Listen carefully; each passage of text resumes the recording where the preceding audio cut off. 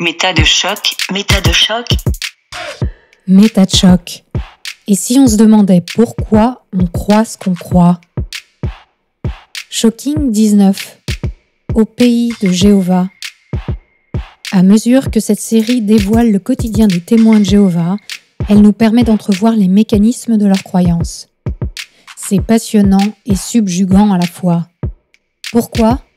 Parce que les comprendre, c'est mettre un pied dans les tréfonds de l'esprit humain, de ses modes de pensée, de nos modes de pensée. Bertrand, par le partage généreux de son expérience et de son analyse, est un guide hors pair sur ce chemin de métacognition, de réflexion sur nos propres pensées par la dissection de ce qui motive nos jugements et nos décisions de vie.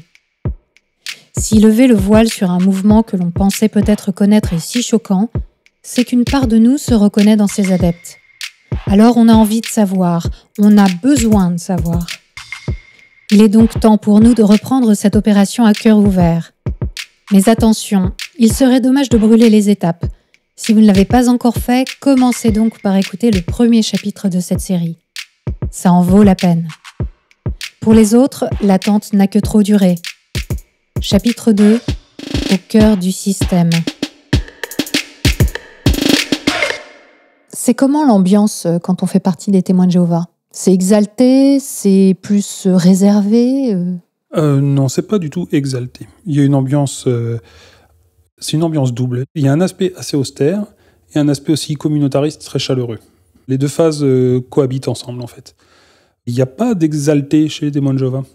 Comme tu l'as peut-être compris, c'est un mouvement où on récite la doctrine en permanence. Mhm. Et la doctrine, on n'est absolument pas appelé à y participer, on est appelé à la réciter. Mhm.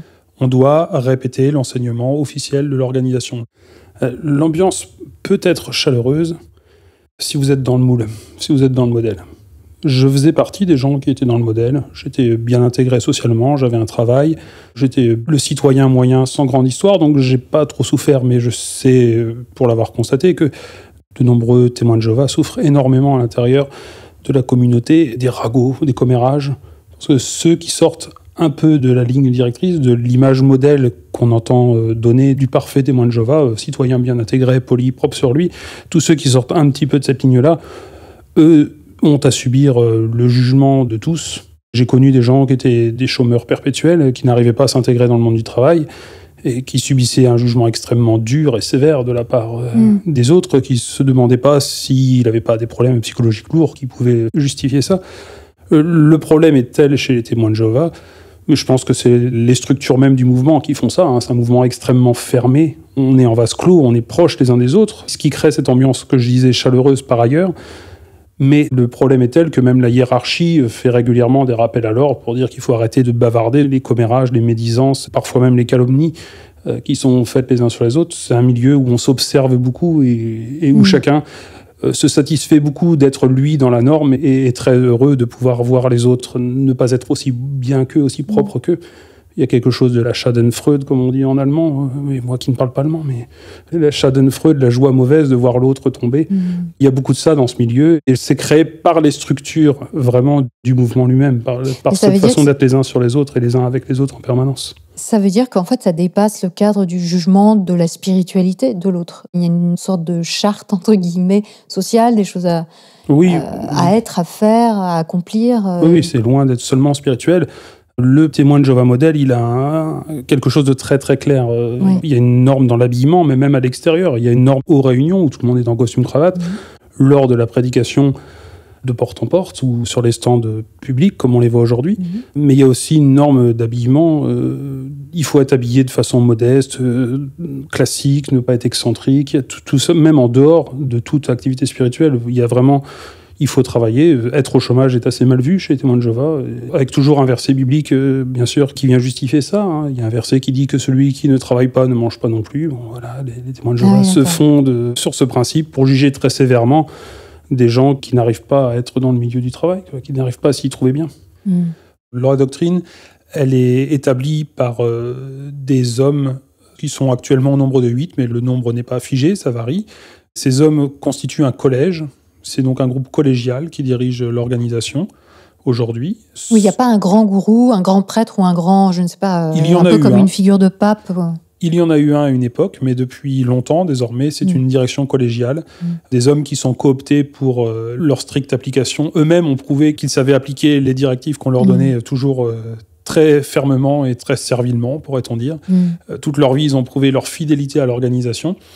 Et l'organisation est devenue, euh, à son tour, une sorte euh, d'entité euh, un peu difficile à définir. Quand les témoins de Jéhovah disent l'organisation, on ne sait pas s'ils parlent de tous les témoins de Jéhovah dans leur groupe ou de cette entité dirigeante. L'organisation, elle est un peu partout et nulle part, un peu à l'image de Big Brother dans 1984. À la fin de 1984, on finit par se demander si la personne de Big Brother existe. Mhm. Et un des suppôts du pouvoir euh, explique qu'il n'a pas besoin d'exister. Big Brother n'a pas besoin d'exister en tant que personne. La question n'a même aucun intérêt. Ce qui compte, c'est ce qu'il représente dans l'esprit des gens qui sont censés Le se soumettre pouvoir à lui. qu'il a, qu'il Voilà. existe ou pas. Et chez les témoins de Jéhovah, l'organisation joue ce rôle. C'est-à-dire que même les dirigeants eux-mêmes sont des hommes qui ont été toute leur vie soumis à l'idée de l'organisation. Ce ne sont pas des gourous charismatiques. Alors, on est aussi dans des jeux de pouvoir, dans des jeux d'influence. Euh, attention, hein, c'est des hommes qui ont un statut social important euh, dont ils jouissent. hein. Euh, Je ne suis pas en train de dire que ce sont des saints. hein. Mais ce sont des hommes qui ont servi l'organisation toute leur vie et qui sont totalement idéologisés Mm. et soumis à ce concept de l'organisation qui est beaucoup plus grande qu'eux. Donc tu penses que ces dirigeants sont sincères? Ils sont vraiment de fervents croyants? La question de la sincérité est extrêmement compliquée. La Et tu ne les connais foi- peut-être pas personnellement je non ne, les connais, pas- je ne les connais pas personnellement, mais leur vie plaide pour eux. Mm. Ce sont des hommes qui ont sacrifié toute leur vie à l'organisation, et au moment où ils ont fait ces sacrifices, ils ne savaient pas qu'ils finiraient en haut de la hiérarchie.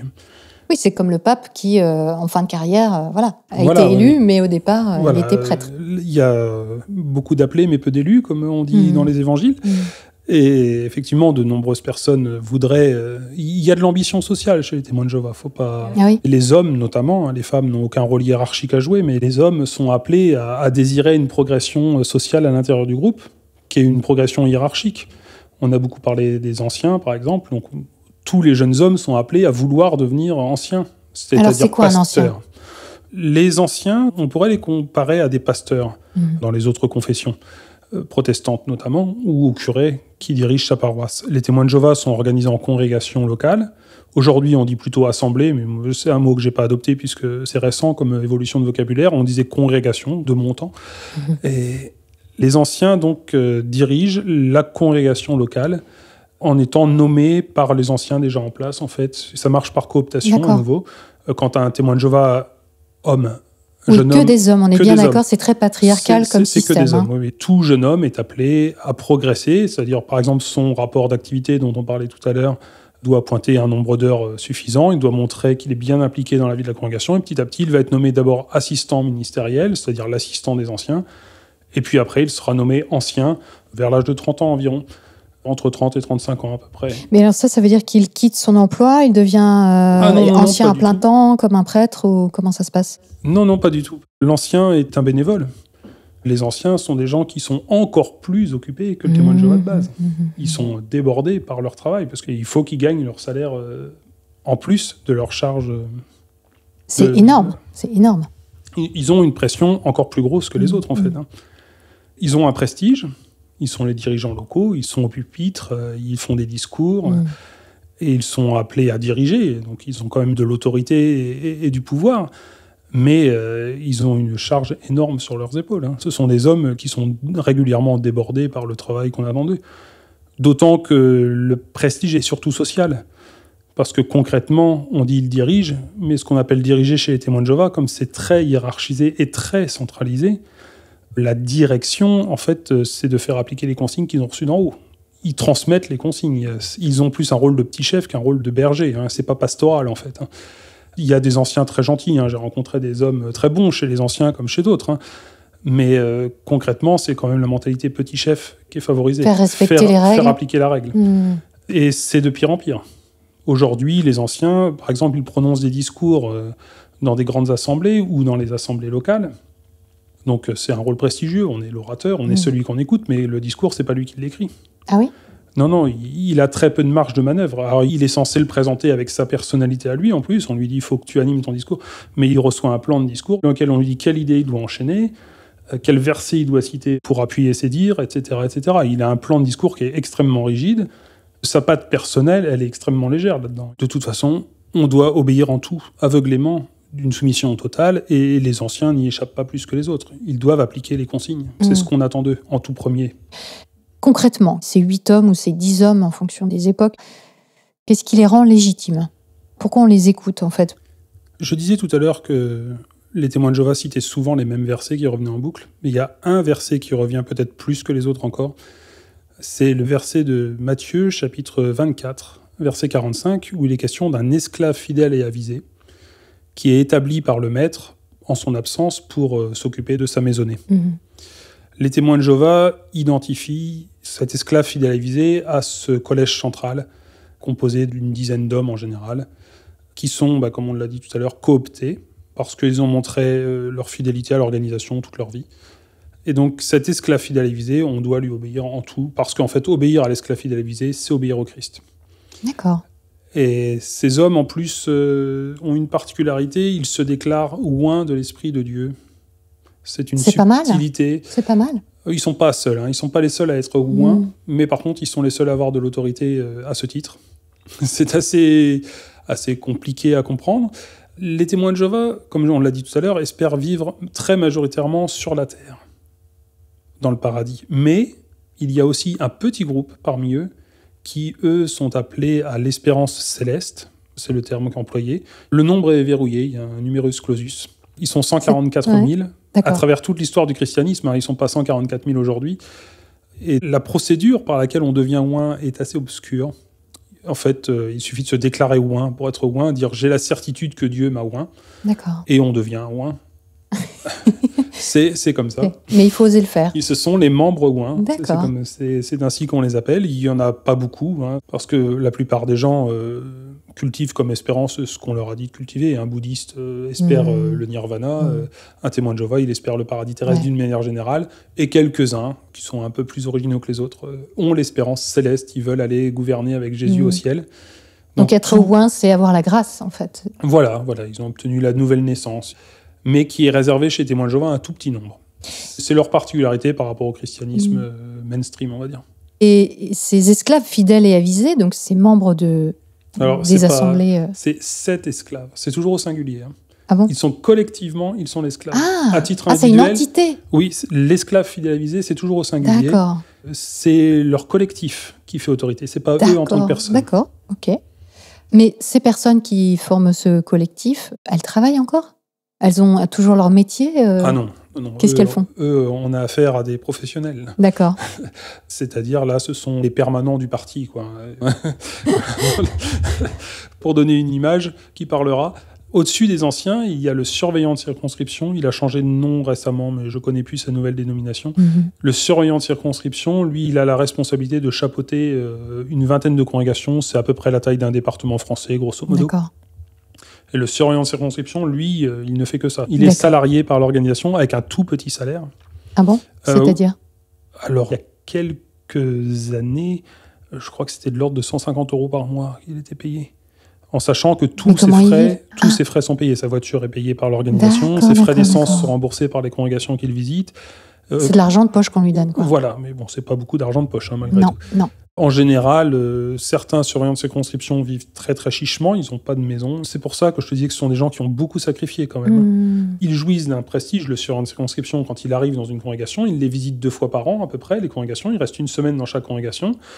Il est accueilli, logé, et les gens se battent pour le recevoir à leur table. hein. Mhm. C'est un homme qui jouit d'un vrai prestige, Mhm. mais, mais euh, il fait aussi beaucoup de sacrifices. Il fait vœu de pauvreté, en il fait. fait vœu de pauvreté. Après, ils peuvent passer à la filiale de France, quand c'est un surveillant de circonscription qui a manifesté euh, une réelle orthodoxie toute sa vie, qui a montré, il peut passer à la filiale de France, où là, il devient sédentaire dans les bureaux, et puis il continue de donner des grands discours, etc. Donc là, il est encore plus prestigieux.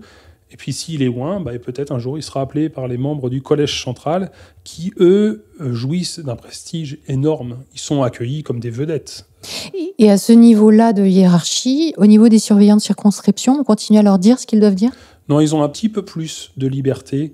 Ils choisissent leur thème en fonction de ce qu'ils estiment être les besoins locaux, et- etc. Mais néanmoins, euh, leur parole est tout de même surveillée en ce sens que la moindre déviance par rapport à la doctrine officielle euh, leur vaudra Oui. de se faire sabrer. hein. Oui. Ça, c'est clair et net. hein. et de quitter leur poste. Voilà. Mais les témoins de Jéhovah, ils se rendent compte quand même qu'en en gros, on leur donne la béquille, on leur dit exactement quoi penser, on leur dit exactement quoi dire à chaque étape, qu'on soit ancien ou qu'on soit juste à assister à une réunion. Ils ont conscience qu'ils n'ont pas d'esprit critique ou, qu'on leur interdit d'avoir leur propre euh, analyse, compréhension de la Bible ou, ou des règles de vie. Enfin, ça leur pose pas de problème. Ah si, ils ont une certaine conscience de ce problème. Même la hiérarchie a conscience que Ouais, c'est un problème. Ouais. Je peux te lire un petit extrait d'un article qui est paru en 1998 dans la Tour de Garde et qui donne des consignes pour dissimuler le fait qu'on obéit à des consignes. C'en est là, oui, est là. Je te lis cet extrait. Quelqu'un prétendra peut-être que la manière dont les témoins parlent de la société Watchtower, qui est l'organe central des témoins de Jéhovah, le plus souvent ils disent simplement la société, prouve qu'elle représente à leurs yeux plus qu'un outil juridique. Ne la considère-t-il pas comme l'autorité suprême en matière de culte? Pour éviter les malentendus, les témoins de Jéhovah s'efforcent de veiller au choix des mots quand ils s'expriment. Au lieu de dire la société enseigne que, nombre de témoins préfèrent employer des expressions comme la Bible dit que ou je comprends que la Bible enseigne que. De cette façon, ils mettent en relief la décision personnelle de chaque témoin d'accepter les enseignements bibliques, mais ils évitent aussi de donner la mauvaise impression que les témoins seraient de quelque manière inféodés aux directives sans appel d'une secte religieuse. C'est affreux parce que on leur demande très clairement à longueur de temps d'obéir à des ordres, et en même temps dans le texte on a cette idée que ah non c'est la personne qui choisit de suivre ces directives. Et même on, on- on tord aussi les mots, c'est-à-dire que même si on obéit à la Watchtower, on va dire qu'en fait c'est la Bible qui le dit, ce qui n'est pas forcément le cas, Ce Puisque- ce est le puisqu'évidemment- cas. puisqu'évidemment la Watchtower donne des consignes qui ne sont pas dans la Bible. Évidemment. Or, il y a toujours un petit verset pour soutenir. Pour mais justifier. Le lien entre le verset cité Mm, et la consigne officielle peut parfois être extrêmement ténu. Le verset euh, sert de prétexte souvent. Mais oui, c'est tout de la à pure fait. manipulation, quoi, tout C'est ça. tout à fait significatif du point de vue euh, métacognitif d'ailleurs, puisque c'est notre thème quand même. Du point de vue métacognitif, je trouve ça extrêmement fort parce qu'on bloque vraiment la réflexion dès qu'elle risque de passer à l'étage du dessus. Quoi. Mm. Dès qu'il s'agit de prendre un peu de recul, on te bloque en te Ouais. disant c'est ta décision. c'est- Le témoin de Jéhovah qui dit ça, enfin en tout cas c'était mon cas, ressent un vrai malaise à lire ces choses-là, mais ne peut pas. Ne peut, N'a il est pris recul. par le vertige, il ne peut pas réfléchir à ce qu'on lui demande. Moi, quand j'ai lu cet article, j'ai compris qu'il fallait que j'arrête de dire la société dit que. Mm. D'ailleurs, le terme la société a disparu. Aujourd'hui, les témoins de Jéhovah, quand ils parlent, ils disent l'organisation plus que la société. Ce qui n'est pas forcément plus... Ce qui n'est pas forcément mieux, mais ça a été jugé que c'était mieux. Ouais. Mais euh, quand j'ai lu cet article, je sentais bien que quelque chose n'allait pas Mm. dans cette formulation. J'étais pas capable de mettre des mots dessus, j'étais pas capable de le formuler, de l'expliciter, mais on, on peut pas lire ça sans comprendre qu'il y a quelque chose qui Mm, va mm, pas. mm. Mais on est saisi par le vertige. Le prix à payer pour commencer à réfléchir sérieusement, vraiment Et à critiquer mettre les mots et à critiquer, Mhm. puisque là c'est critiquable, ça me semble objectivement critiquable. Le prix est trop fort, on est saisi par le vertige, on se bloque, on s'auto-censure, on s'arrête. Le prix, c'est quoi? C'est l'excommunication? Oui, ça, ça du- peut aller jusqu'à l'excommunication, du- et alors l'excommunication pour apostasie étant la pire de toutes. Mm. Là, on devient pour tous les gens qu'on a appréciés, pour tous les gens qu'on a aimés et qui nous ont aimés, la pire engeance que l'humanité puisse imaginer. Et les mots pour décrire les apostats euh, dans les publications, dans la littérature des témoins de Jéhovah, sont d'une violence extrême. L'apostasie étant donc le renoncement à la croyance ou, Le, ou à oui, l'appartenance. le- le renoncement et l'esprit critique, en fait. Ouais. Manifester son esprit critique sur la croyance, c'est là la que l'apostasie commence. Mm. Parce qu'après, vous devenez critique du mouvement, et alors critiquer l'organisation, c'est l'impensable. chez Mm. Vous- On est dans- vraiment dans la catégorie du tabou, Mm. de l'impensable, ce qui ne peut pas être pensé au sens littéral. Oui, donc là, dans ce très court texte que tu viens de lire, on a deux choses. On a ce que l'on doit dire à l'extérieur, ce que l'on doit dire aux gens qui pourraient dire qu'on est dans une structure en fait qui nous assujettit, qui nous assujettit mentalement, et puis comment on doit le vivre nous, comment on doit le penser nous, que non, en fait, c'est notre décision, c'est notre décision, c'est nous qui choisissons, c'est nous qui lisons la Bible et qui avons un, un avis dessus, alors que dans la réalité, ce n'est pas le cas. Là, on est dans un cas de double pensée orwellien. Vraiment, c'est ce qui me vient à l'esprit, la double pensée telle que la décrivait Orwell. Mhm. Vous devez vous convaincre que c'est votre décision, même quand c'est une consigne. Exactement. Même quand c'est une consigne, vous l'appliquez servilement, vous devez vous convaincre vous-même que c'est votre décision. Mentalement, ça aussi, ça a un prix. Un sacré grand écart. Quand vous êtes euh, dans ce schéma de pensée, vous avez en permanence des versets bibliques qui sont exploités par l'organisation. Concrètement, citent souvent les mêmes versets. hein. Mm. A- On tourne sur 150 versets à peu près qui tournent en boucle sur les milliers de versets que contient la Bible. Parmi ces versets, de très nombreuses fois revient souvent les mêmes. Proverbe chapitre 3 verset 5, je les connais encore, même 12 ans après. Ne t'appuie pas sur ta propre intelligence, dans toutes tes voies, tiens compte de Dieu. Ne t'appuie pas sur ta propre intelligence, on vous le dit en permanence, attention, votre intelligence peut vous trahir. Vous pensez avoir compris quelque chose, vous pouvez tout à fait vous tromper. Ce qui, en plus, en Eh oui, soi, eh c'est oui, pas faux. oui. Ou alors, euh, dans le livre de Jérémie, on a deux versets qui sont régulièrement cités Très, très le cœur plus que toute autre chose. Qui peut le connaître? Mm. Donc n'écoutez pas votre cœur, n'écoutez pas votre intelligence. Mm. Et, et c'est Il n'appartient pas à l'homme qui marche de diriger son pas. Voilà le genre de versets qui Mm. reviennent en boucle vraiment dans la littérature. Il Oui. n'appartient pas à l'homme qui marche de diriger son pas. Oui, et il me semble très important de rappeler à cet instant que ces paroles que tu viens de donner sont des paroles issues de la Bible. Oui, et que oui. un chrétien, on n'a pas besoin d'être témoin de Jéhovah, un chrétien qui dit suivre la Bible, eh bien, dans la Bible, il est écrit noir sur blanc de suivre aveuglément les Écritures et l'enseignement de Dieu ou de Jésus. Et ça, c'est très clair. Donc, je trouve que voilà, c'est l'opportunité de le dire aussi parce que là, on parle des témoins de Jéhovah qui mettent en exergue ces passages en particulier et les utilisent de manière très concrète, mais ça fait partie aussi de la croyance catholique, juive, et on retrouve le même type d'ailleurs de versets euh, dans le Coran. Et dans toutes les religions du livre, en, en réalité, on dit bah, suis aveuglément l'enseignement. Avec euh, des nuances dans ce qui est exigé. C'est non négociable chez les témoins de Jéhovah. Mm. C'est absolument total. Mm. Euh, C'est ce qui fait la différence, je pense, aujourd'hui entre des religions et des sectes. Quoique Mhm. je ne pense pas que les religions soient bonnes en elles-mêmes, mais les religions, parce que aussi en Europe, elles y ont été contraintes par la pression sociale, hein, Mhm. par la pression politique. Euh, Aujourd'hui, on va tolérer des écarts chez les catholiques, par exemple. Le rapport est plus distancié, sûr, plus, moins, moins intransigeant. Oui, en fait, ce que font les croyants euh, plus communément dans la société, c'est qu'ils prennent les versets qui les intéressent et ils laissent de côté les autres versets. C'est ce qui se passe. Mais n'empêche que ces versets existent. Ah oui, ils sont ah là, oui, ils sont fait, ils présents. Et pourtant, ils disent toujours que c'est la parole divine. La Bible, ils vont pas marcher dessus, par exemple. C'est Ah la non, parole non, divine. Hein, qu'on soit témoin de Jéhovah, ou qu'on soit chrétien, ou qu'on soit. Mais un verset comme Proverbe chapitre 3, verset 5, qui dit donc ne t'appuie pas sur ta propre intelligence, et qui implique donc de s'appuyer sur l'intelligence de Dieu, hein, c'est ce que ça veut dire. Si on le prend dans son contexte euh, de l'époque hébreu, à l'époque où il a été écrit, euh, c'était une société qui avait une religion d'État. Hmm. Donc euh, effectivement, le fidèle de l'époque n'avait pas à décider s'il s'appuyait sur sa propre intelligence ou pas. Lui, à l'époque, euh, Mhm. il obéissait à la religion qui était la religion du roi, était la religion du peuple. Je trouve particulièrement pervers d'employer ce genre de verset dans un contexte libéral où, où on vous demande d'analyser par vous-même la doctrine des témoins de Jéhovah pour voir si elle est la bonne, pour vous dire juste derrière, mais maintenant que vous avez l'avez validée, Hmm, hmm, hmm. ne vous appuyez pas sur votre propre intelligence. Parce que bah, si je ne m'appuie pas sur ma propre intelligence, j'ai aucune raison de choisir la religion des témoins de Jéhovah. Que j'ai aucune raison de juger si elle est bonne ou pas. Mm. Et ce genre de choses, là aujourd'hui, je les exprime avec une certaine facilité parce que j'ai eu le temps de les penser depuis le temps que j'ai quitté les témoins de Jéhovah. Mais voilà typiquement ce genre de verset qui crée un vrai malaise cognitif. Quand vous êtes euh, témoin de Jéhovah et que vous avez envie de penser votre foi et que vous ne pouvez pas le faire. Parce qu'effectivement, là, on arrive dans une contradiction. C'est ne t'appuie pas sur ta propre intelligence, bah pourquoi on argumente alors Pourquoi on va essayer de convaincre les gens? On leur demande de juger.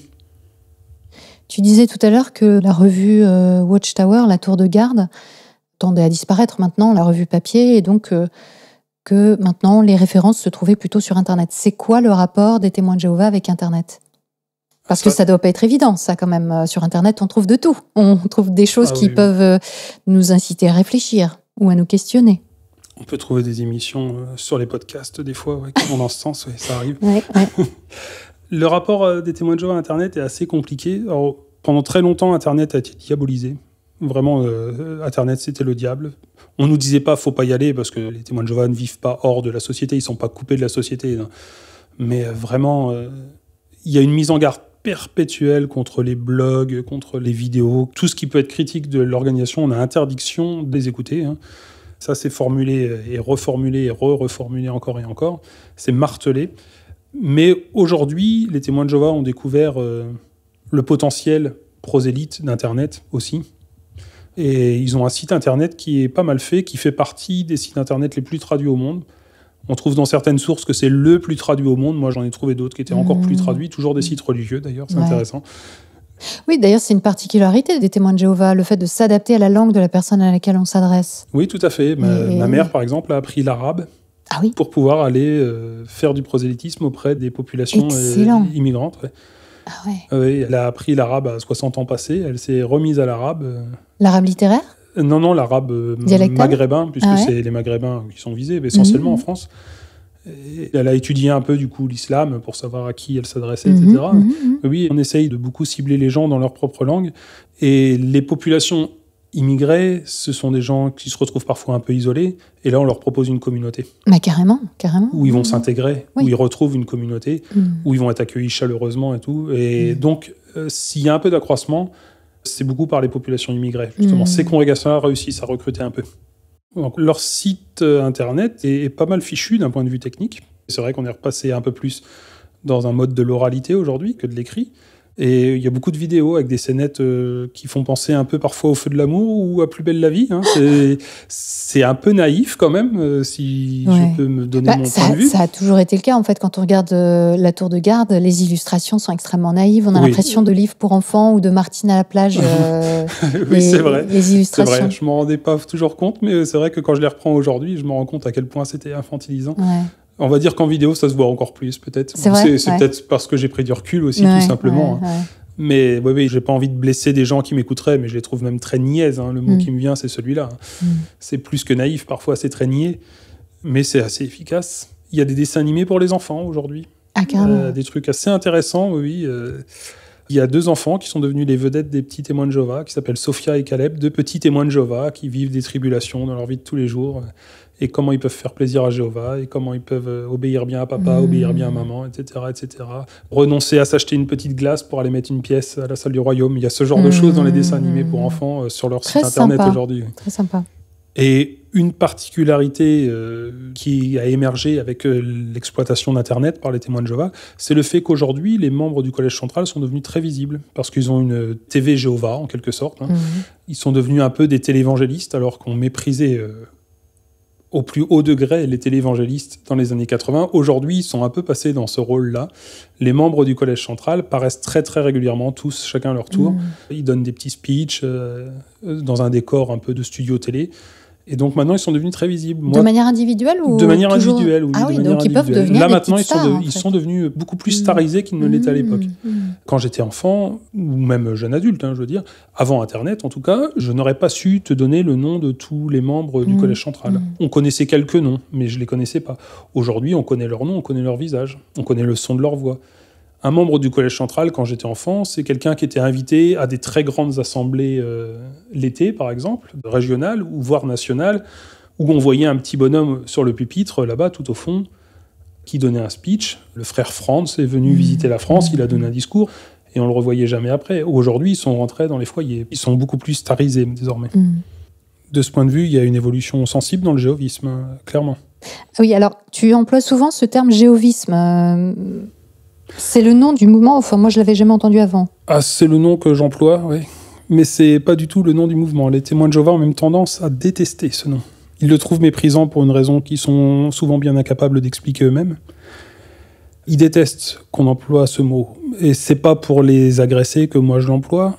C'est parce que euh, le jéhovisme, c'est une religion que si on écoutait les témoins de Jéhovah, on ne pourrait pas la nommer. Les témoins de Jéhovah, ce n'est pas le jéhovisme. Le jéhovisme, c'est une religion avec ses structures, avec sa hiérarchie, avec sa doxa, avec sa praxis. Un système. C'est un, système. Voilà. Et les témoins de Jéhovah, ne voulant pas que leur religion puisse être nommée en tant que telle, Mhm. euh, vous êtes euh, condamné à dire quelque chose comme, par exemple, si vous voulez parler du problème sectaire, les témoins de Jéhovah sont une secte. Mais c'est comme les musulmans, c'est comme les catholiques, les témoins de Jéhovah, ce sont des gens, Mhm. ce sont des individus qui, à titre personnel, ne sont pas forcément sectaires. Je connais des tas de témoins de Jéhovah qui sont pas du tout sectaires, qui sont des gens euh, ouverts, qui aimeraient tellement vivre euh, en paix avec leurs semblables. Des gens qui aspirent à de bonnes relations avec tout le monde, qui sont Mhm. pas haineux du monde, même s'ils ont adopté une idéologie qui est haineuse du monde, mais eux, à titre individuel, ils ne détestent pas les gens. Et donc c'est pour ça que moi, j'aime assez peu dire les témoins de Jéhovah sont ceci, les témoins de Jéhovah sont cela. Je préfère parler du jéhovisme, parce que le jéhovisme, je sais ce que c'est. Mhm. Que les témoins de Jéhovah, bah, ce sont des gens euh, qui méritent le respect autant que n'importe qui, à titre personnel. Et donc, tu penses qu'il y a cet amalgame, en fait, qui est fait entre les gens et le système? D'après toi, c'est fait exprès qu'il n'y ait pas cette distinction? Je ne sais pas si c'est calculé, je ne sais pas si c'est conscient, mais je pense euh, que... De la les- part des dirigeants, je veux dire. Oui, oui, mais même de leur part à eux, parce que comme je te dis, les dirigeants eux-mêmes sont des héritiers aujourd'hui. Ils Mm, ont hérité de ce système. Mm. Ce sont pas des fondateurs de religion, ce sont des héritiers. Ouais, bien sûr. Donc je ne sais pas si c'est calculé, si c'est conscient, mais je pense clairement que les témoins de Jéhovah n'aiment pas qu'on puisse traiter leur religion comme une religion comme les autres. D'accord. Ils n'ont pas envie qu'on puisse les distinguer, eux, de leur religion. Ils préfèrent, comme je l'ai évoqué un peu plus haut, les témoins de Jéhovah sont très à l'aise quand on les agresse. Ah bon? Enfin, ils sont très à l'aise. Je ne veux pas dire qu'ils sont masochistes, ça leur fait pas plaisir, mais ça leur confirme leur grille de lecture du monde. Oui, oui. Ils sont confirmés dans leurs préjugés. Les gens sont méchants. Nous, on est les gentils.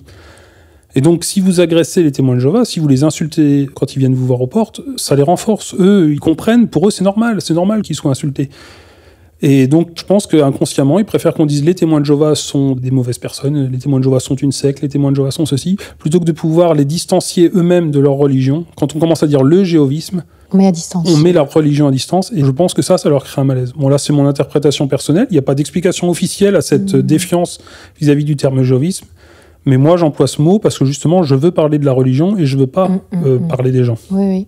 Mais ça rejoint tout à fait moi aussi euh, ce que je fais. C'est-à-dire que très clairement, on n'est pas en train de critiquer euh, les pratiquants, on n'est pas en train de critiquer le simple fait de croire, Hmm. mais plutôt de critiquer au sens large du- terme, c'est-à-dire d'analyser ce qu'est cette croyance et ce qu'est ce système aussi euh, social, enfin cette organisation.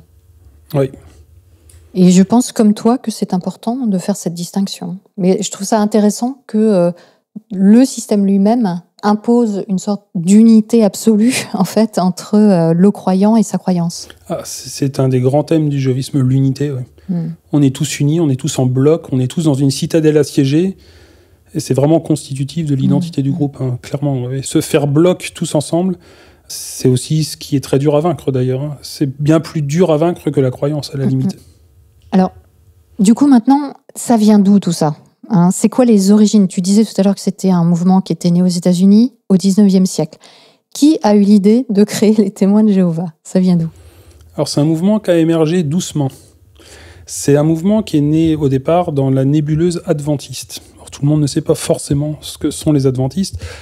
Euh, Les adventistes, c'était un mouvement qui lui aussi était beaucoup plus proche du protestantisme traditionnel Mhm. états-unien. La dénomination évangélique n'avait pas encore émergé comme elle a émergé aujourd'hui, mais oui, c'était le protestantisme euh, littéraliste, le protestantisme assez réfractaire au modernisme. C'est né un peu dans la crise du modernisme, l'opposition euh, Dans la révolution industrielle la révolution industrielle, le darwinisme, la révolution scientifique, Mm, mm. etc. Euh, Ça a créé une crise du modernisme chez les catholiques, chez les protestants, comment lire les textes. Et donc là, on est dans la partie euh, qui a vraiment résisté, qui a été réactionnaire contre euh, revisiter la lecture de la Bible pour dire qu'Adam et Ève n'ont pas existé, par exemple. Là, on a vraiment dans la nébuleuse fondamentaliste. Et dans cette nébuleuse fondamentaliste, euh, il y a eu les adventistes qui sont nés avec euh, William Miller, qui était un pasteur, un, un prédicateur états-unien euh, au début du 19e siècle, qui a annoncé la fin du monde pour 1843, puis c'est pas arrivé, il l'a annoncé pour 1844, il s'était donné un petit peu de marge. Ça fait pas beaucoup un an. non, non. Et donc il y a eu la grande déception à cette époque. Ouais. Euh, les gens attendaient la fin du monde, ils étaient persuadés que ça allait arriver. Ils s'étaient même réunis euh, à un moment dans un champ pour attendre que Jésus vienne les enlever au ciel. Euh, Jésus n'était pas au rendez-vous, malheureusement. La fin du monde n'est pas arrivée. Et donc, ça nous est arrivé aussi à nous en 2012 avec la fin du monde, avec le calendrier Maya. tout à fait. ça arrive encore Les- régulièrement, Les, les- les euh, fins du monde, Ça, ça ne cesse pas d'être annoncé. hein. les fins du monde sont multiples et, et n'arrivent jamais, malheureusement, Mm, ou heureusement. Enfin, en tout cas, pas Ouais. comme on les prédit. Et donc, ce mouvement adventiste a commencé à s'éclater en vraiment plein de micro-courants. Et parmi ces micro-courants, il y a eu un homme qui a été happé par les post-adventistes, on va dire, euh, qui s'appelait Charles Russell, qui était un tout jeune homme issu de la petite bourgeoisie blanche euh, états-unienne de la Mhm. côte Est, la Mhm. bourgeoisie commerçante. Cet homme-là euh, a commencé à, à- à fréquenter des prédicateurs adventistes et a commencé à créer des groupes d'études dont il était quand même le leader. hein. C'est des groupes d'études, Mhm. mais c'était quand même lui le prédicateur principal. Et il est devenu un peu la star de son mouvement qui a bien progressé, qui a bien pris, contrairement à d'autres qui sont tombés dans l'oubli. Ce mouvement-là a bien pris. Il avait, lui, revisité encore euh, à nouveau la doctrine chronologique. Il avait annoncé que Christ était revenu au ciel de façon invisible en 1874 et que la fin du monde arriverait en 1914. On en revient à 1914. Et la fin du monde n'est pas arrivée en 1914, mais Charles Russell n'a pas eu trop le temps de se remettre de sa déception puisqu'il est mort en 1916. D'accord. Son mouvement, qui avait pris un nom dans la sphère adventiste, il avait pris un nom particulier, il s'appelait les étudiants de la Bible. Après sa mort, son mouvement a, a lui-même éclaté en plein de mouvements. Mm. Et il avait fondé la société Watchtower, qui était euh, une société d'impression euh, qui commençait à générer pas mal de bénéfices. C'était un outil juridique euh, qui, qui fonctionnait bien. Et l'homme qui a mis la main sur euh, la société Watchtower s'appelait Joseph Rutherford. Et en fait, c'est lui le fondateur des témoins de Jéhovah. D'accord. Souvent, on dit c'est Charles Taze Russell, le vrai fondateur des témoins de Jéhovah. Si vous lisez un historien comme Bernard Blandre, qui s'est spécialisé dans l'histoire du mouvement, il considère que le fondateur de la secte des témoins de Jéhovah, c'est Joseph Rutherford. C'est lui qui en, leur a donné leur nom. En 1900. Après 1917, D'accord. après la mort de Charles Russell, parce que le mouvement ayant éclaté en, en de nombreux schismes, il y a eu une guerre de succession pour savoir qui étaient les vrais chrétiens là-dedans. Parce que Charles Russell avait déjà dit que c'était lui les vrais chrétiens. Et quand le mouvement lui-même éclate, euh, il y a la guerre pour Et- savoir euh, et- bah, c'est qui les vrais là-dedans. Oui, oui. Et donc il y a eu une guerre de succession assez violente. Et Joseph Rutherford, lui, ayant pris la tête du mouvement, a eu la main mise sur la publication de la tour de garde et des livres. Donc l'outil médiatique. Donc c'est lui qui a hérité de l'outil médiatique, mais il a donné une nouvelle identité au mouvement et il est allé, lui, vers toujours plus de radicalité. Sa façon de prouver qu'il était, lui, le dirigeant des vrais chrétiens, c'est que les autres faisaient des compromis, c'est que les autres étaient des mous, alors que lui, c'était un dur. Mm. Et c'est lui qui a donné vraiment naissance à la secte, parce que Charles Russell était finalement, tout en disant qu'il était lui dans la vérité, qu'il s'identifiait lui aussi un peu à l'esclave fidèle avisé, etc., il était quand même l'élu de Dieu sur terre, mais il n'était pas euh, radical et sectaire comme l'a pu l'être son successeur Mm. celui qui a vraiment donné cette identité de toujours rechercher la pureté, de toujours rechercher euh, à débusquer le démonisme partout dans toutes les traditions. C'est lui qui a dit par exemple qu'il fallait pas porter la croix, qu'il fallait pas fêter les anniversaires, qu'il fallait pas fêter Noël, qu'il fallait Mm. toutes ces choses-là sont venues avec Joseph Rutherford dans la course à la radicalité pour prouver qu'il était le plus pur. Oui, et puis c'est sans doute euh, une bonne manière de fidéliser euh, les gens. C'est-à-dire, à partir du moment où on pense qu'on fait partie d'une communauté à part, d'une communauté qui a quelque chose de très différent des autres, si on en fait partie, on va y rester. Parce Oui. que, après, il y a un fossé énorme entre sa communauté et euh, le reste du monde, Oui. justement. Il a créé une identité très forte au Mhm, mouvement. euh, mhm. Son mouvement à lui, euh, au sein de l'éclatement des étudiants de la Bible, son mouvement à lui est celui qui a sans doute l'identité la plus forte. Et d'ailleurs, aujourd'hui, c'est quasiment le seul qu'on connaît. Il y a d'autres héritiers de Charles Russell aujourd'hui. hein. Le mouvement missionnaire intérieur laïque, par exemple, t'en as déjà entendu parler, non, j'imagine jamais non. Non. Euh, les Amis de l'Homme, t'en as déjà entendu Non, parler non. Non. Les Témoins de Jéhovah, t'as- Oui, les témoins... celui-là, j'ai... ouais. Donc, Joseph Rutherford a réussi son coup. Bah, c'est clair, c'est clair, c'est clair. Il a clairement réussi son coup de dire que ils étaient les bons chrétiens. hein, Voilà. Puisque Mhm. si on rajoute à la liste euh, des choses à faire ou à ne pas faire, eh bien, on, se dissocie complètement de l'environnement. Mais c'est quand même un homme qui a été pas mal critiqué, même de son vivant, malgré tout. C'était pas une, un homme qui était une très route pavée de roses. C'était un homme qui était très critiquable. C'était un, un homme euh, très brutal, euh, moralement, euh, avec ses subordonnés. Même aujourd'hui, dans les publications, les témoins de Jéhovah admettent que c'était un caractère très particulier. Il avait Mm. un vrai problème avec la bouteille, apparemment. Mm. Puis il a fait des choix. Ce qui est un peu gênant quand on demande aux gens de ne pas fumer et d'avoir une vie. euh, l'interdiction, l'interdiction du tabac est arrivée après Rutherford. Ah, d'accord. Ouais, c'est arrivé au début des années 70, bien après ça. Ah, d'accord. Le mouvement a continué et ça chasse à la radicalité. hein. Le- D'accord. le- ce qu'il a initié a continué après lui. mais- D'accord, d'accord. Et oui, Rutherford était un homme euh, assez. Lui, je ne sais pas s'il était honnête. Comme je te disais tout à l'heure, je pense que les dirigeants actuels sont des gens qui sont persuadés d'être dans la vérité. Je n'en suis pas aussi sûr que ça pour Rutherford. Je ne sais pas dans quelle mesure il n'a pas eu bien conscience des avantages que ça pourrait lui procurer. Mm. Pour faire un parallèle, par exemple, avec euh, Raël, qui Ouais, est connu, ouais. Raël a expliqué que les extraterrestres allaient revenir sur Terre, qu'on allait leur construire une très jolie ambassade, puis en attendant qu'ils arrivent, c'est lui qui allait habiter dans l'ambassade. Moi, entendant ça, je pense que Raël est un escroc. C'est mon avis personnel. Je pense que vraiment, il se fiche du monde. Joseph Rutherford, lui, dans les années 20, il avait annoncé qu'en 1925, les fidèles du passé allaient ressusciter. Moïse, le roi David, Salomon, euh, ils allaient ressusciter. Qu'il fallait Sur les- Terre sur Terre, oui, oui, sur Terre. Ceux-là ne vont pas régner au ciel. hein. Les figures de l'Ancien Testament ont l'espérance terrestre. hein. L'espérance céleste est réservée aux chrétiens, c'est-à-dire ceux après Jésus. Le Saint Paul, euh, Saint Jean, etc. Tout cela ont l'espérance céleste. Les fidèles de l'Ancien Testament, eux, ont tous l'espérance terrestre. D'accord. Donc le roi David allait revenir sur Terre. Et il faut bien l'accueillir, euh, ce brave homme, euh, Bah oui. tel qu'il le mérite. Mhm. C'était un roi tout de même. Donc euh, Joseph Rutherford se fait construire une villa en Californie, à San Diego. Et en attendant la résurrection des fidèles du passé, bah, c'est lui qui allait habiter dedans. Donc l'été, il était à New York, et l'hiver, comme l'hiver était rude à New York, il allait passer six mois en Californie, dans sa belle villa. Et des articles de presse de l'époque sont ressortis actuellement, où on le voit euh, trôner devant des Cadillac V16. Ah, tout de même. Je pense que ce genre de dérive n'existe plus aujourd'hui. Oui, on est loin du vœu de pauvreté que tu décrivais là. Rutherford a eu une vie euh, de pacha. À New York, il avait un étage entier euh, qui était ses appartements privés. Un étage entier de l'immeuble euh, lui servait d'appartement. Un bel immeuble. C'est c'est incroyable parce que si c'est bien lui le fondateur du mouvement et que ce mouvement prône euh, la pauvreté, l'humilité, l'obéissance, etc. Les témoins de Jéhovah aujourd'hui, ils en ont conscience de ça, des origines du mouvement, de qui l'a créé, etc. Les témoins de Jéhovah racontent leur histoire officielle à eux. Ils ont des livres pour raconter l'histoire des témoins de Jéhovah où ce genre de détails sont évacués très rapidement. Ils n'ont pas eu Ils trop sont le connus choix- quand même.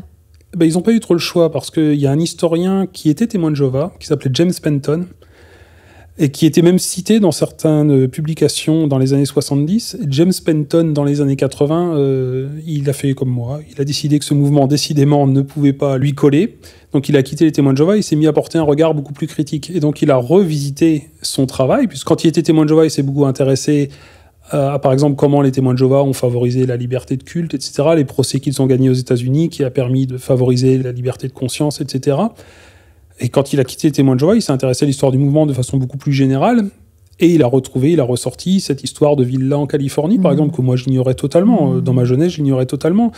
Et évidemment, quand la version d'un historien profane, et même apostat en l'occurrence, est ressortie et a commencé à être connue, les témoins de Jéhovah pouvaient difficilement l'ignorer. Donc ils ont ressorti en 1993, après le livre de Penton, ils ont ressorti un très beau livre d'ailleurs, euh, assez épais, pour raconter leur histoire à leur façon. Ils évoquent rapidement cette histoire de façon de montrer qu'ils n'ont rien dissimulé, mais ça prend deux lignes. On ne décrit pas le luxe et le faste de la villa. Mhm. On parle pas des Cadillac V16, par D'accord, d'accord, d'accord. Et quand même, en 1938, Rutherford annonce que c'est le règne théocratique sur Terre de Jésus-Christ. Oui, C'est la, la théocratie est un concept très très important chez les témoins de Jéhovah. Ce mot revient théocratique, C'est théocratie. quand même euh, important de le dire parce que c'est clairement la loi de Jésus-Christ, la loi de Dieu, qui doit diriger les hommes. Ah oui, tout à C'est fait. tout oui. à fait officiel, Oui, oui. même de manière politique. Oui, donc. oui. Tout ce que font les témoins de Jéhovah est déclaré théocratique. Mm. Il faut euh, se tenir à distance de la politique parce que le seul vrai pouvoir légitime, c'est celui de Jéhovah. Mm. Donc les témoins de Jéhovah ne votent pas, par exemple, ou alors ils votent blanc. Mm. Ils, ils ont le droit d'aller signer euh, l'émargement euh, lors des scrutins, mais par contre ils votent blanc. Si un témoin de Jéhovah qui dirait qu'il a voté pour quelqu'un de précis il se ferait exclure immédiatement. Ils prônent une neutralité politique totale, y compris dans les mouvements contestataires, par exemple. Donc ça, ça fait partie des interdits? Ah Oui, ça fait partie Ça des interdits. ouais. On, Est-ce que- on ne milite pas. Est-ce que tu peux nous donner la liste des interdits, s'il te plaît? Elle est très longue. Oui, je pense que ça vaut la peine. Ah, déjà, il faut distinguer l'interdit total de l'interdit qu'on pourrait appeler relatif. Donc là, je vais commencer par donner la liste de l'interdit total. C'est-à-dire donc un interdit tout à fait officiel. Voilà, Hein, et qui peut peut vous ignorer. valoir, si vous êtes pris en faute, ça peut vous valoir d'être exclu du groupe. D'accord. Alors vas-y. Alors, interdiction de célébrer à peu près toutes les fêtes traditionnelles. Noël, le jour de l'an, on ne doit pas présenter ses vœux. On ne doit pas participer à la galette des rois. On ne doit pas participer au carnaval. On ne fête pas Pâques. On ne fête pas la fête des mères, la fête des pères, la fête des grands-mères. On ne fête pas son anniversaire non plus. Hmm. Et on ne fête pas celui des autres, évidemment. Bizarrement, les anniversaires de mariage sont tolérés. Pourquoi? Je ne saurais pas l'expliquer. Mais c'est ainsi. On fête évidemment pas Halloween, encore moins que les autres. On fête pas la Saint-Valentin. Enfin bref, je, je, je peux arrêter Ouais. l'énumération ici. Vous avez compris, le, je pense, le, le but. Vous avez l'interdiction euh, de toute relation sexuelle ou même de flirt hors du mariage. Le flirt fait appel à une casuistique assez élaborée, euh, c'est-à-dire euh, on étudie cas par cas euh, si on a caressé les seins, si on a caressé le sexe, si on a... Ah Dans oui. le manuel des anciens, les anciens qui sont amenés à poser des questions extrêmement gênantes à des jeunes adolescentes. hein. C'est technique. C'est technique et c'est très violent. Hum, hum. Évidemment, l'homosexualité, faut-il le préciser seulement? Il est interdit aux couples mariés euh, toute relation sexuelle autre que le coït vaginal. hein. La fellation, la sodomie sont parfaitement interdites même aux couples mariés. Il y a quelques décennies, euh, les anciens euh, enquêtaient même sur ce qui se passait dans le lit des couples. Cette habitude a été aujourd'hui probée. On leur a dit arrêtez de faire des, des enquêtes pour savoir ce qui se passe dans le lit. Mais si un témoin de Jéhovah se met à dire publiquement qu'il pratique ces choses dans son couple, il sera exclu. D'accord. Euh, il y a l'interdiction de divorcer aussi, sauf, sauf si vous avez été trompé par votre conjoint. Alors en fait, c'est pas tout à fait vrai. L'interdit, c'est pas de divorcer, l'interdit, c'est de se remarier. Hum. Euh, si votre conjoint ne vous a pas trompé, euh, vous pouvez divorcer, ce sera toléré, mais il est interdit de se remarier parce que vous êtes considéré comme étant bigame à ce moment-là. Hum. Le mariage est dissous légalement, mais pas devant Jéhovah. Mais il y a aussi le fait que le mari ne subvienne pas aux besoins de sa femme, hein, puisque le côté très patriarcal, ça, ça peut donner lieu aussi à un- une autorisation de divorce. Non, ça donne lieu à une autorisation de séparation. Ah, pardon. Mais on peut considérer que la femme légitimement peut quitter son mari s'il ne subvient pas correctement aux besoins de sa maison, mais elle est soumise toujours à l'interdiction de se remarier. Ah, d'accord. La seule chose qui la libère de son mariage, entre guillemets, c'est le fait que son mari euh, ait une relation extra-conjugale. C'est la seule chose qui la peut violence, dissoudre le mariage. non. Le... La violence, non. La, la femme, la femme financier. soumise à la violence, euh, on lui conseille même de rester avec son mari plutôt. hein. C'est plutôt ça le conseil. hein. Essaye de rester avec ton mari, essaye de l'assouplir, essaye d'être Mhm. gentil avec lui. hein. C'est des, mhm. des choses très violentes qui sont parfois écrites. Vous avez donc euh, la polygamie est interdite également dans les pays où c'est autorisé. Vous avez interdiction de regarder de la pornographie. Pour les femmes, il est interdit d'avorter, comme on l'a dit plus haut, ou même de prendre la pilule du lendemain, qui est assimilée à un avortement. Mhm. Vous avez l'interdiction des jeux d'argent, l'interdiction du tabac et de toutes les drogues douces, mais bon, elles sont interdites aussi par la loi. L'interdiction de tout œcuménisme aussi, interdiction de participer à, à une quelconque célébration religieuse autre que celle des témoins de Jéhovah. D'accord. Et vous avez même l'interdiction d'accepter un travail, une activité professionnelle qui aurait un rapport avec la fausse religion, c'est-à-dire n'importe quelle autre religion que le jéhovisme. Mhm. Officiellement, on vous dit qu'un artisan euh, ne devrait pas aller réparer une église, par exemple. Mhm, mhm. Vous avez interdiction de consulter un astrologue, un voyant, un médium, euh, tous les arts divinatoires, euh, tous les, Toute la superstition. tout l'ésotérisme, tout ça est banni. J'avoue qu'à titre personnel, ça ne me pèse pas trop. Mais bon, c'est quand même un interdit euh, qui pèse sur la conscience des autres. Euh, vous avez interdiction d'accepter un travail qui aurait un rapport avec l'armée, de près ou de loin. Vous ne devez pas participer aux cérémonies patriotiques, euh, type salut au drapeau, par exemple. Vous ne devez pas participer à la vie politique. Vous ne devez pas voter, sinon blanc ou nul. Et bien sûr, vous n'avez absolument pas le droit d'adhérer à un parti politique ou de participer à une liste électorale. Mhm. Quand j'étais enfant, c'était même interdit de voter pour les délégués de classe. Mais Ah. c'est interdit à, Là, c'est c'est jusqu'au ah oui, boutiste, oui, c'était jusqu'au boutiste, oui, effectivement. ouais. Je me suis moi-même mis en porte-à-faux avec ma classe un jour où, où le délégué de classe, je vais être en quatrième, je crois, euh, on était à 50-50 dans les deux délégués de classe. Il fallait quelqu'un qui départage et je refusais de voter. Ah oui. Ouais, Ouais. J'étais quand même fidèle aux, aux Ah injonctions, hein, malgré tout, malgré mes doutes. Et cet interdit, aujourd'hui, il a été levé, toujours aussi gratuitement qu'il avait été imposé. Mhm. Interdiction de participer aux activités de l'Organisation des Nations Unies aussi. L'ONU est considérée comme euh, la bête sauvage. On ne doit pas y adhérer d'aucune manière. C'est d'autant plus drôle que l'organisation elle-même, en tant qu'organisation, s'est associée à l'ONU pendant plusieurs années, à l'insu des fidèles d'ailleurs. Mhm. Sans doute pour des questions politiques, en plus. J'ai du mal à comprendre les raisons exactes, mais oui, ils, ils y trouvaient un avantage Mm. politique ou financier, oui, sans aucun doute. Vous avez interdiction de consommer du boudin noir ou toute autre recette qui contienne du sang, comme un civet par exemple. Euh, vous avez évidemment l'interdiction de recevoir une transfusion sanguine même quand euh, votre vie est en danger. Interdiction de recevoir des plaquettes, du plasma, des globules rouges, des globules blancs qui sont considérés comme les composants principaux du sang. Mais, mais c'est quoi le problème avec le sang, en fait? Le boudin et, et les transfusions? Euh, c'est un interdit biblique. C'est un interdit alimentaire, évidemment. Et Mhm. les témoins de Jéhovah ont décidé que cet interdit alimentaire s'élargissait aussi aux transfusions sanguines. L'interdit alimentaire, il a aussi un lien avec, euh, par exemple, est-ce que vous pouvez manger du porc? Ah oui, on peut manger du porc, oui. Ah bon? Oui, oui, on peut manger du porc, oui. C'est étrange, mais l'interdit de consommer du sang est répété dans le Nouveau Testament. Alors Ah, d'accord. que la consommation de porc n'est pas répétée dans le Nouveau Testament. C'est la raison, en fait. D'accord. Euh, dans le livre des actes, euh, il y a un débat pour savoir ce qui doit être imposé aux, aux chrétiens non juifs, à l'époque où du judéo-christianisme et du christianisme païen euh, s'est posé. Et donc, le livre des actes décrit un, un concile qui a eu lieu à Jérusalem où on décidait de ce qu'on imposait aux chrétiens qui se convertissaient et qui n'étaient pas d'origine juive.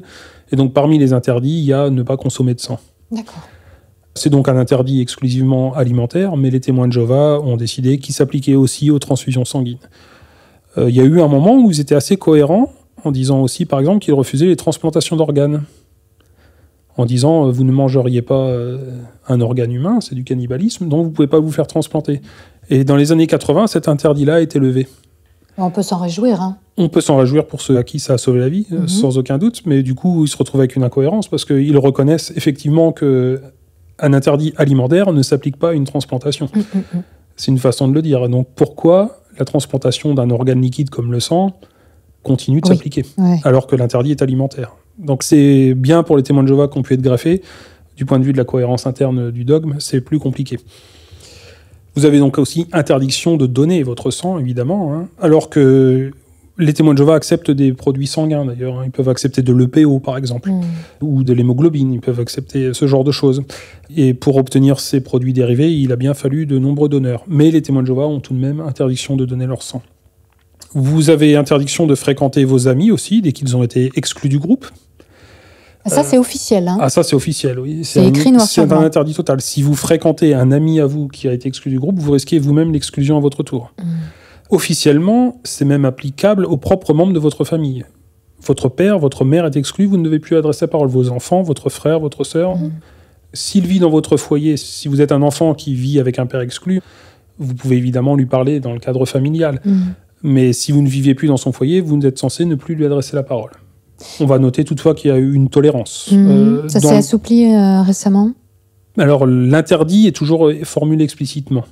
L'interdit est total, on ne doit pas parler, on ne doit même pas décrocher son téléphone si on est appelé par un membre de sa famille exclu. Mais il y a une tolérance en ce sens que des témoins de Jéhovah choisissent malgré tout de continuer de fréquenter les membres de leur famille exclus, ils n'arrivent pas à rompre les liens familiaux et ils ne risquent pas l'exclusion. D'accord. L'exclusion, euh, c'est plus souple. Ils sont quand même euh, régulièrement rappelés à l'ordre par la tour de garde, on les conseille, on leur dit qu'il faut pas, etc. Ils subissent la pression du groupe, mais ils risquent pas l'exclusion. Pour ça, quand c'est un membre de la famille. Si c'est un ami, vous risquez l'exclusion si vous le fréquentez.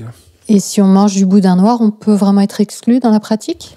Ah oui, oui, tu peux Ça, être exclu. Si, si tu manges du boudin noir euh, autrement qu'accidentellement, évidemment. Mais Mhm. si tu dis, moi j'adore le boudin noir, je continue d'en manger, tu es exclu, comme si tu fumes une clope. hein. D'accord, ok.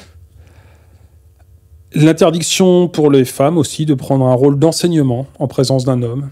Alors, sauf euh, cas exceptionnels, euh, qui sont savamment répertoriés d'ailleurs. Là encore, on retombe sur la casuistique, Mhm. c'est-à-dire l'étude au cas par cas. Une femme doit se couvrir les cheveux quand il y a un homme dans la salle. Si l'homme est sorti, elle retire son voile. C'est extrêmement compliqué, euh, tellement compliqué d'ailleurs que la plupart des gens s'y retrouvent pas. Concrètement, si vous demandez à un témoin de Jéhovah à quel moment une femme doit se couvrir et à quel moment elle doit se découvrir, on ne sait pas forcément répondre. Mais dès qu'elle est dans un rôle d'enseignement, souvent les femmes témoins de Jéhovah mettent un fichu sur la tête. Dès qu'elles sont amenées à prendre ce qui serait normalement le rôle d'un homme. Par exemple, diriger un groupe de prédication. Ça, ça peut arriver. Il y a des Ça femmes peut qui arriver s'il n'y a pas d'homme pour accomplir la tâche. Mhm. Une femme peut prendre la direction d'un groupe de prédication. En général, dans ces cas-là, elle se couvre la tête. D'accord. Et puis, alors vous avez l'interdit absolu parmi les absolus. L'interdit ultime, c'est critiquer l'organisation, contester euh, un enseignement. Officiellement, il est même interdit de ne pas croire Ah euh, oui, un là, des enseignements. ouais, ouais. Ouais. Là, ça devient très compliqué. Ça devient très compliqué. Il est interdit de croire en l'évolution des espèces, par exemple. Euh, interdit d'interpréter les écritures euh, par soi-même, autrement que par les publications. Les, les publications, la littérature de l'organisation euh, vous dit tout ce que vous devez savoir, Mm, mm. et la littérature à jour, si possible, parce qu'il y a une évolution dans la doctrine. Si un adepte, en fait, a, a un problème avec quoi que ce soit qui pourrait lui sembler euh, difficile à croire ou même être en contradiction avec la Bible, par exemple. hein, ça Mhm, peut arriver. hein, mhm. des fois, que des choses qui sont écrites dans les publications semblent aller directement dire le contraire de la Bible. C'est déjà arrivé. Eh bien, il doit chercher la réponse dans les publications ou aujourd'hui sur le site officiel et pas ailleurs. Et puis, il doit accepter l'enseignement qu'il y trouvera. euh, à supposer qu'il y a un problème, à supposer qu'il y ait vraiment un problème avec cette explication, il doit remettre les choses entre les mains de Jéhovah, selon l'expression consacrée. Si l'argument lui semble bidon, euh, si l'explication lui semble peu convaincante, ben, il doit prendre son mal en patience et attendre que l'organisation elle-même révise euh, le problème. Mm, Voilà pour tout ce qui est des interdits absolus qui peuvent vous valoir exclusion si vous êtes Mm. pris en faute dans un de ces domaines.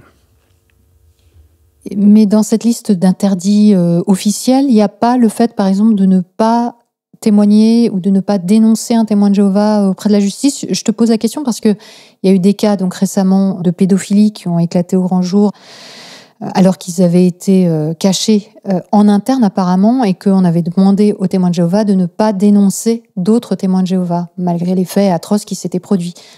Donc il y a des consignes officielles qui vous disent de ne pas le faire, oui, effectivement. C'est écrit noir sur blanc dans les publications. Alors, le cas de la pédophilie, lui, n'est pas évoqué dans les publications, mais on vous dit qu'il ne faut pas porter plainte contre un témoin de Jéhovah, même s'il vous a réellement euh, causé du tort.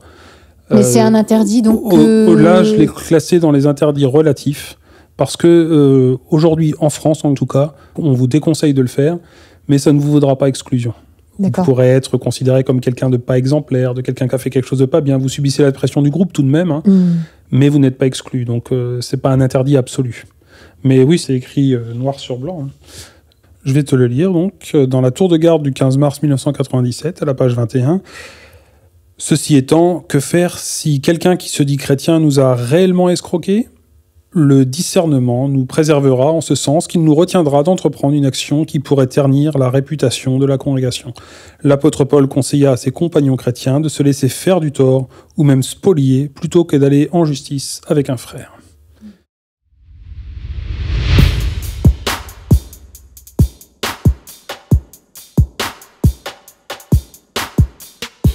C'est le moment de mettre un pouce, un cœur ou un max d'étoiles sur votre appli de podcast. N'hésitez pas à déposer un avis aussi.